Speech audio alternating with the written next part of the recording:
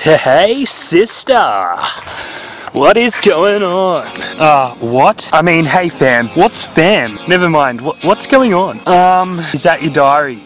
What are you writing about? Chicks? I'm just curious. Don't give me that look. I'm writing notes for upcoming videos. Oh, sick. Can we do one where we time travel? Nah, no way. What if I get us a time machine? You can actually get one? no, you silly bloody idiot. Time machines don't exist. You had me fooled for a moment. What if we do a video where I eat 50 donuts? 50 donuts! Yeah, I'm sure people will watch it. No one would watch it. Well, that's the only idea I can think of. You only gave me two ideas. Yeah, so? They were shit. How about we not make anything at all? Do you want to go to the pub? Yeah, all these ideas are making me thirsty.